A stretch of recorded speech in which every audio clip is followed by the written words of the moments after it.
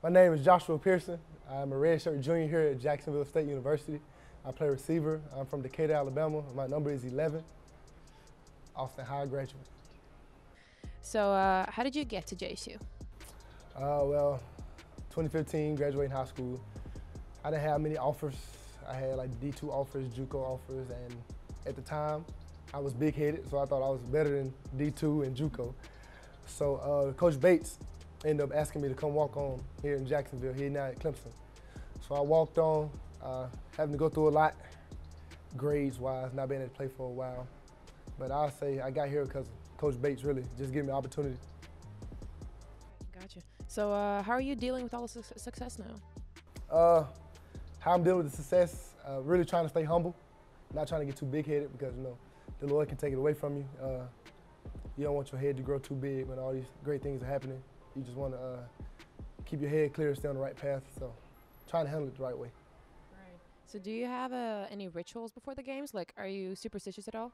Uh, well, before every game, I listen to gospel music, and then uh, when we walk the field, I change up to a little R&B, and then before we go out on the field, uh, get ready for the game, I try to pray at least two times right after coach get done talking to us, and we run on the field. I go to the end zone, and I say a prayer as well.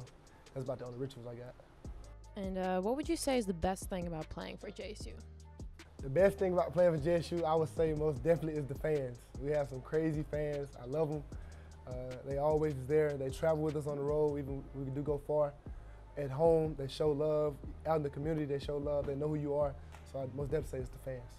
And uh, what's your most memorable play of the year?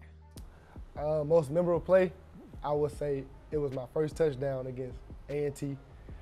Uh, I ran a, a, corner post, and right down the middle, the coop hit me. First catch was my first touchdown, and I said it's my most memorable play. And uh, is there any advice you would give to freshmen coming in?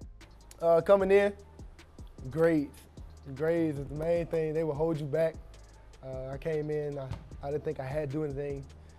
I wasn't going to class, wasn't, wasn't doing homework, so I would tell the freshmen, make sure you come here A1, ready to work. Nobody's gonna give you anything. Nobody's here to wake you up, make you go to class, do your homework. So make sure you do that and just stay focused.